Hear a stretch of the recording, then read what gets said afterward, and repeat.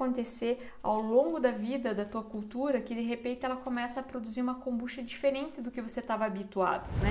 Você estava habituado com um, um, estilo, um perfil sensorial e de repente ela muda completamente. Isso às vezes é bom, mas a maioria das vezes eu vejo que as pessoas não gostam dessa mudança, né? Então o que, que pode acontecer? Nós vamos falar de hipóteses aqui, tá? Não estou afirmando que um mais um é igual a dois, mas vou falar de hipóteses, do que pode estar acontecendo. Então, os micro-organismos, né, passam por seleção natural. Então, uma das principais coisas que a gente pode falar é seleção natural, né, a adaptação. Muitos não se adaptarão. Então, aqueles micro-organismos que não se adaptam acabam sendo suprimidos por competição é, com outros micro-organismos, ou também pelas condições físicas e químicas da cultura também, não se adaptam e acabam sendo suprimidos. Outros, né, que é, tinham dificuldade com aquela temperatura, vamos supor, às vezes começam a evoluir, sofrer mutações é um mundo enorme ali de mutações que pode acontecer de evolução mesmo do microorganismo. Isso é uma das hipóteses, tá? Então, é, então pode sim ocorrer essas mudanças ao longo da vida da sua cultura.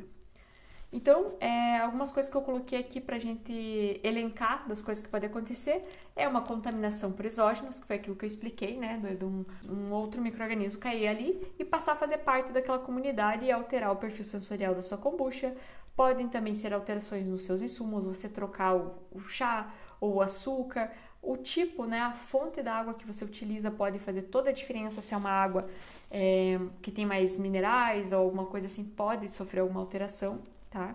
De favorecer algum tipo de microorganismo e outro não.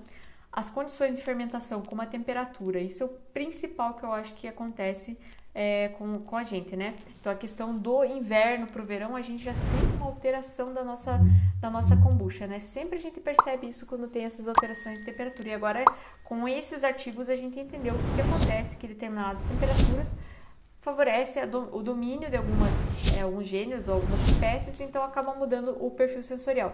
Não quer dizer que a tua kombucha vai ficar assim para sempre, né? Às vezes quando é, só tá uma questão de domínio, tá um lá que passa a ser o dominante e outro fica em segundo, no inverno.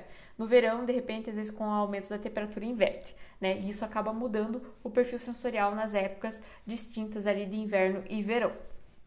Que mais que eu coloquei aqui?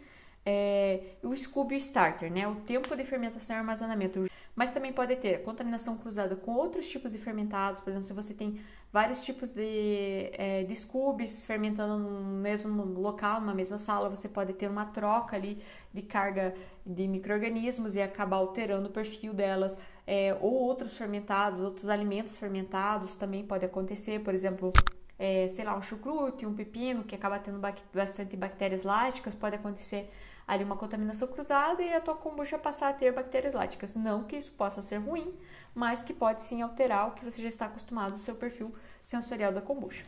E o excesso de acidez ou álcool podem ser tóxico, tóxicos para certas espécies, então dependendo se uma kombucha fica é, é muito doce, ela pode favorecer um determinado muito doce que eu digo se prepara um moço com muito açúcar, por exemplo, pode favorecer uma determinada espécie ou não, tá? Alguma coisa nesse gênero. São hipóteses, tá, gente? Hipóteses aqui.